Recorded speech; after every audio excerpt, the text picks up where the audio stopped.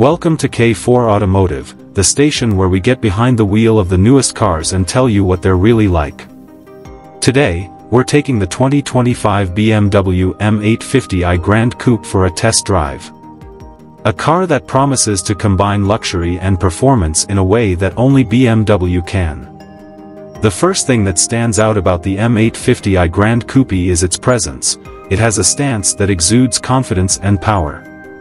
The long, sweeping hood leads your eyes to the iconic BMW kidney grille, which is now bigger and more aggressive than ever. The laser headlights cut through the air with precision, and the deep air intakes give you a hint of the car's performance roots. It also looks great from the side, with a roofline that swoops down in an elegant arc meeting the powerful rear hunches that hold the 20-inch alloy wheels. The shape of the car is a great example of current design, combining sportiness and elegance. But the M850i Grand Coupe isn't just good-looking, it also has some real power. A 4.4-liter twin-turbocharged engine is located under the hood.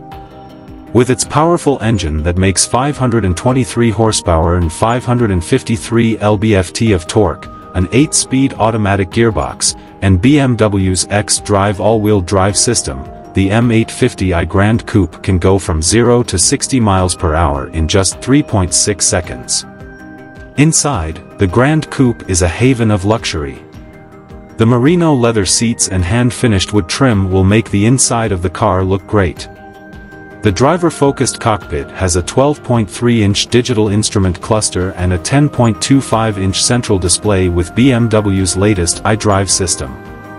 If you're looking for a luxury coupe that can do it all, the M850i Grand Coupe should be at the top of your list. Thanks for watching K4 Automotive.